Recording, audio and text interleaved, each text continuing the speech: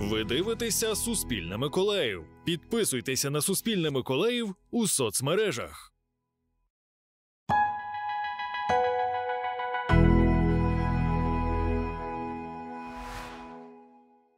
Російські війська протягом доби сім разів атакували громади Миколаївщини з артилерії. У Любомирівці Шевченківської громади демонтували зруйновану російськими обстрілами школу. Діти навчаються дистанційно. Подробиці у випуску. Російські війська 23 лютого о 4.55 обстріляли з артилерії населений пункт Галицинівської громади Миколаївського району. Внаслідок атаки травмованих людей немає. Про це повідомив начальник Миколаївської обласної військової адміністрації Віталій Кім у Телеграм. Також 23 лютого о 2.14 та 22 лютого о 17.32 і 19.07 підрозділи армії Російської Федерації завдали артилерійських ударів по населених пунктах Куцурубської громади Миколаївського району. Ніхто не травмувався. Йдеться у повідомленні військової адміністрації. Крім того, вранці 22 лютого російські військові тричі завдали артилерійських обстрілів по акваторії та місту Очаків Очаківської громади. Загиблих та поранених немає. Повідомили у Миколаївській обласній військовій адміністрації.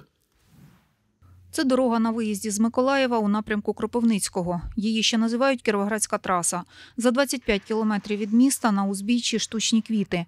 На цьому місці майже два роки тому, 8 березня, російські військові розстріляли мікроавтобус з працівниками дитячого центру соціально-психологічної реабілітації, які їхали змінити колег у селі Антонівка, куди евакуювали в перші дні вторгнення дітей з Миколаєва. Згадує начальниця служби у справах дітей Миколаївської військової адміністрації Ірина Пономарьова. Транспортний засіб е, з Червоним Хрестом був розстріляний е, російськими військовими. Найулюбленіший вихователь на той час е, дітей старшого віку, а саме хлопців, загинув під час цієї такої непростої подорожі. Крім того, ще загинуло двоє працівників: одна одразу, а інша від кулеметних обстрілів. І е, від кулеметних обстрілів також постраждали дуже сильно інші працівники. Каже, в той час, як розстріляли автобус з вихователями, російські війська почали облогу Миколаєва з кількох сторін. Обстрілювати Миколаїв, вулиці і житлові будинки російська армія почала в перший день повномасштабного вторгнення.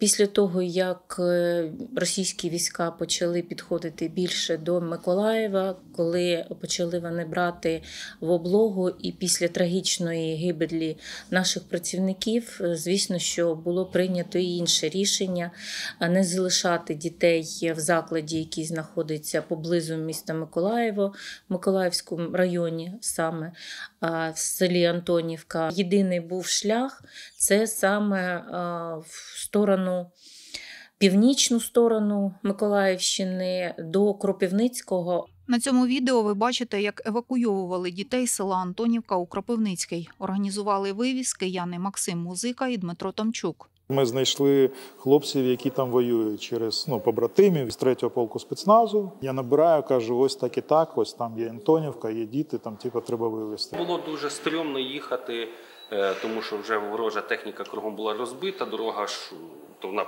просто вздовж дороги валялась розбита, спалена техніка. А ми їхали крізь неї. Це п'ять цивільних білих автобусів. Тільки вони провели до автобусів. Один із людей, які це робили, е, я їх вважаю героями. Зателефонував, сказав Андрій Андрійович, все окей, їдемо. Ніч, комендантський час. І я пам'ятаю, як діти виходили з автобусів. Діти були від маленьких до старших. І що мене вразило, що старші діти е, такими були наставниками для цих маленьких дітей. Вони їх там допомагали, е, знімали, брали на руки. І переносили зі слів Андрія Лісоти на Кіровоградщині врятовані діти були місяць. Далі їх евакуювали в Чернівецьку область. Антоніна Крейтор, Анатолій Басистий, Єлизавета Кротик, Олена Земляна, Юрій Руденко, Влада Колодій, Олексій Мовсисян. Суспільне новини Кропивницький. Син Олени ходить до сьомого класу. Жінка розповідає, до повномасштабної війни вчився у Любомирівській школі. Тепер дистанційно у освітньому закладі сусіднього селища. Школа це і робота, і це тут як село буде жити, якщо будуть, буде школа і будуть е, дітки. Говорили, що наче автобуси там якісь на Шевченківську громаду прийшли. Ну куди нас будуть возити? Школу у Любомирівці зруйнували російські снаряди, розповідає Марина, вчителька математики та фізики. Нині навчальний заклад демонтували. Прилет первый был в школу, это спортзал, стенку. Стоял танк, заш- российский пришитанк и еще техника. Наши Ребята, молодежь, вышли к танку и стали их э, кричать тем, чтобы они убирались с нашего села, уходили. Тогда танк развернулся и прям параллельно земле э, выстрелил в стенку нашего спортзала. Дыра была на моем, наверное, в мой рост. И там, наверное, метра полтора-два диаметром. Э, Двери, школа была закрыта, выбили российские, которые зашли э, сюда. Вот. После этого я еще приходила в школу. Я старалась в кабинетах немножко выгрести стекла, мусор убирала. Станом на 23 лютого до села повернулося 211 людей. Серед них 20 дітей. Розповіла Наталія Чепик, староста села. Батьки занепокоєні демонтажем будівлі школи, говорить Олена. Як відбуватиметься навчання після виходу на офлайн формат, невідомо. Крило, яке був садочок, столова, кабінет хімії, фізики і, історії, вони були цілі. Ну, ми думали, ну, ми вважали, що все-таки там нам не залишать цю сторону і відбудують.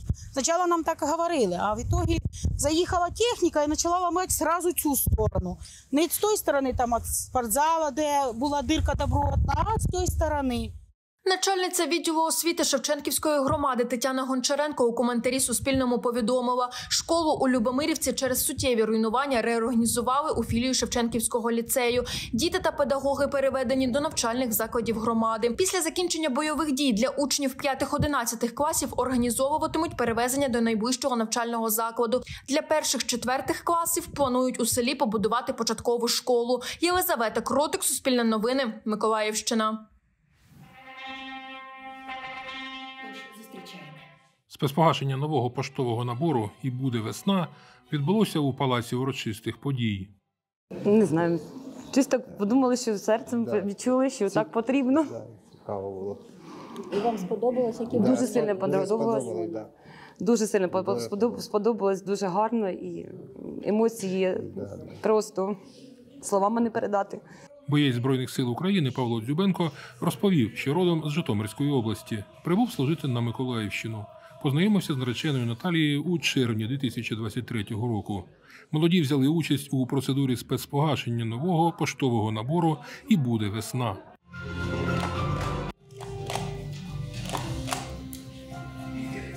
Ми дуже сподіваємось, що перемога буде вже не тільки цього року, а всі ми бажаємо наші хлопці та дівчата на передовій також, щоб ця весна та перемога вже були саме на весні цього року. Боєць 140-го окремого розвідувального батальйону морської піхоти Андрій Червоняк розповів: пішов на строкову службу незадовго перед повномасштабним вторгненням, потрапив у полон у місті Скадовськ на Херсонщині. Його обміняли через 366 днів. Андрій каже, із задоволенням погодився на участь у цій урочистій процедурі та отримав надзвичайні відчуття, яких так не вистачає останніми роками. Я вважаю, що далі все має бути тільки краще. Наразі у кожного з нас, у нашої нації в цілому, можуть виникати складнощі, можуть виникати певні тимчасові труднощі. Але ми всі впораємося з цим. І ми маємо бути сильними. І тоді все буде добре. Блок марок складається з кількох сюжетів, що об'єднані десятьма роками протистояння російській агресії та надією на перемогу. Ігор Косороков розповів, що марка і буде весна випущена накладом 250 тисяч екземплярів. Федір Бондар, Суспільне новини, Миколаїв.